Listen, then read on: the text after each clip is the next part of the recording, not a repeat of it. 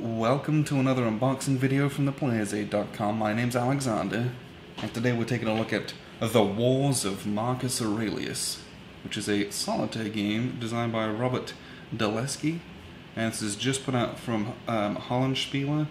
It's not necessarily the newest game in the whole world, this is their 27th uh, game. I don't know if that's, they've put all those out. It's a lot of games. I think that is game number 27.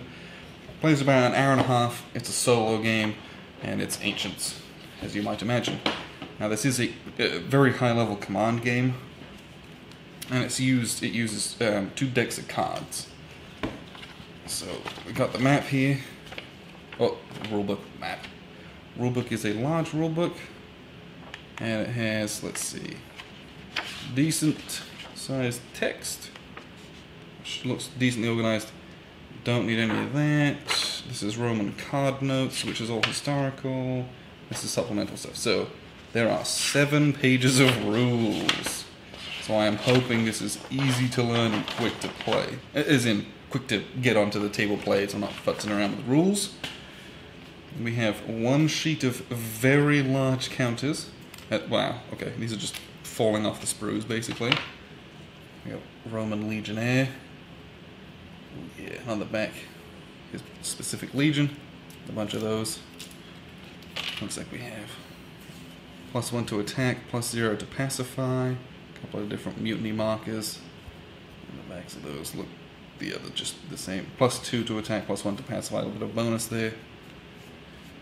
So those are pretty cool. The cards themselves, and that's it really. So we've got a nice map here. Okay. So, Wars of Marcus Aurelius. Um, the cards that you're going to use and play out, some of those are going to be placed here, but it's a it's an area movement kind of a control game. Little Imperium markers, turn track markers over here. The cards we have, so we have the red cards here. These are um, a lot of different things on here, and they're all numbered, which is nice. So th these tell you bits and pieces to do. Discard this card to move units. Discard this card to take a random act, or take not random, take an action. Looks like there's a bunch of those. Um, Barbarian Auxilia. These are the actions that you're taking. And this is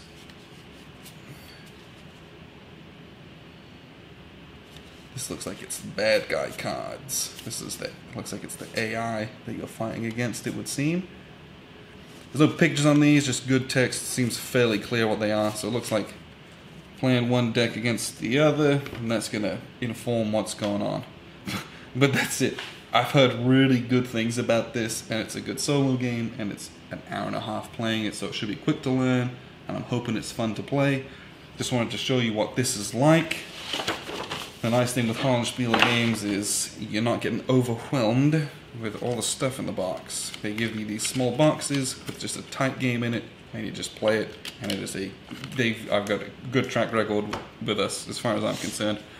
They play, they make good, interesting games. So,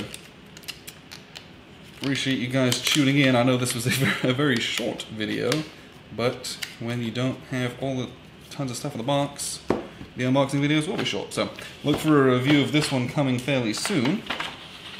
Uh, we'll go through rules, what we think of it, if this is something that you would like. So appreciate you guys tuning in. This is Wars of Marcus Aurelius, very high level command and control game from uh, Hollandspiele.